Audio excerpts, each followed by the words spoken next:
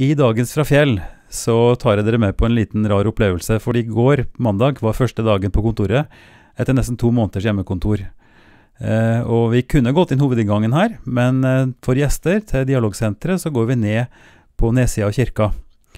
Eh, ser først på den fine utsikta, kanskje, fra, fra, kirka vår ut mot eh, fjorden og ut mot Drammen. Eh, og så går vi da inn under det vesle overbygget inn mot hovedinngangen. Og En ser en kan også kjøre inn med bil fra nedsida, parkere, og kommer da inn i hovedinngangen til Forandringshuset i Drammen, som eh, holder til her i underetasjen, og, og Dialogsenteret.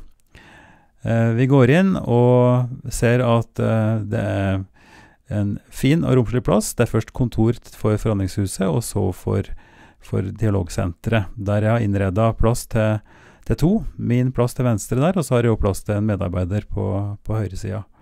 Og så ser vi konferansebordet der det er rigga til, til, til podkastopptak, som blir nå på torsdag med Unni Helland.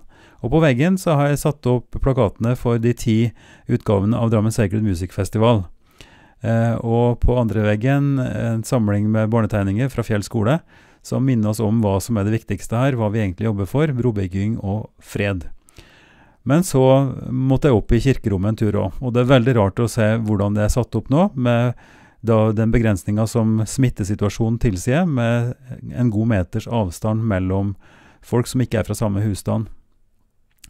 Eh, og her eh, har vi da prøvd opplegget nå på søndag den 10. Med, med, en gudstjeneste. Og det fungerte veldig bra, men det er veldig spesielt. Eh, og vi har kommet så vidt i gang, men vi ser fram til en mer normal drift da, med de begrensninger som fins etter hvert. Jeg gleder meg til den 24. mai, hvor jeg skal ha gudstjenesten her.